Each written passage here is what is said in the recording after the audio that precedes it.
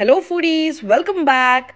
Today I'm back with a very tasty, nutritious and spicy soya chunks masala recipe.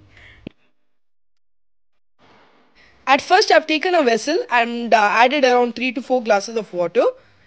To that I'll be adding around 1 teaspoon of salt, mixing it well. I have 200 grams of soya chunks which I'll be adding it to the water and keeping it on heat for around 3 to 4 minutes with a closed lid. Once it gets heated up, I'll be transferring all the soya chunks to the room temperature water. Now wait till the water gets cooled down and then squeeze it and add it to another vessel which is dry. Perfect. I'll be doing the same for all the soya chunks. So once it's ready, let's prepare for the marination. For marination, I'll be adding 4 tablespoons of thick yogurt half teaspoon of turmeric powder, 1 teaspoon of chili and coriander powder, half teaspoon of cumin powder and 1 teaspoon of kasturi methi. Now mix it thoroughly either with the spoon or with the hand. I prefer using my hands because I can uh, give it a good massage and mix it really thoroughly. So it's up to you as to how you mix it. Mix it and keep it uh, for marination for about 10 minutes. Few other ingredients required are around uh, 3 to 4 tablespoon of uh, cashew paste, some coriander leaves for garnishing, 2 tomatoes pureed, 1 green chili and 2 onions chopped it into small pieces. To a kadai, I have taken around uh, 3 to 4 uh, tablespoon of oil and I'll be adding a uh, few garam masala for the tadka which is 4 cloves, 1 small stick of cinnamon, half teaspoon of jeera seeds, 2 elaichi and 1 bay leaf. So once it gets fried for a minute, then I'll be adding the chopped onions and the green chili. Now let this get fried until golden brown. Soya chunks is very high in protein. That is around 100 grams of soya chunks has 50 grams of protein. So this is a very high rich protein food which is very good for weight loss and for digestion as well.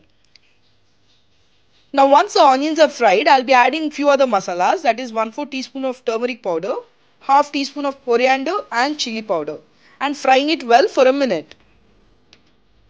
After a minute, I'll be adding the marinated soya chunks and giving it a very good mix.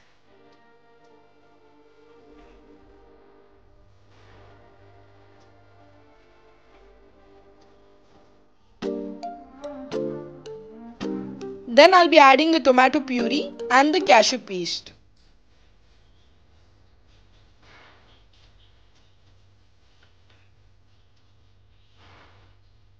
Perfect. Now giving it a very good mix. At the same time, ensure you add salt as per your taste. I'll be adding around one and a half teaspoon of salt.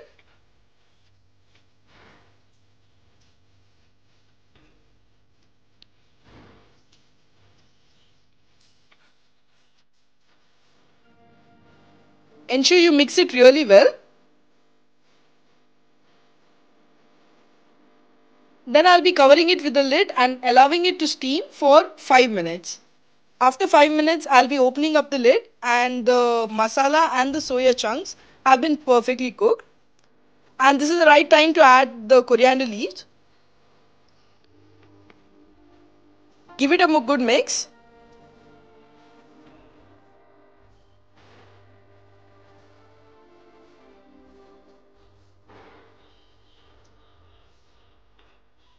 Now I'll be adding 1 teaspoon of kasturi methi and half teaspoon of garam masala. So these two are the final ingredients. Give it a very good mix.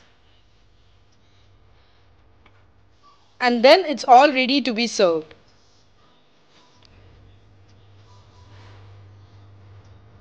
Do try this recipe. We have had this with chapati and it tastes super yum.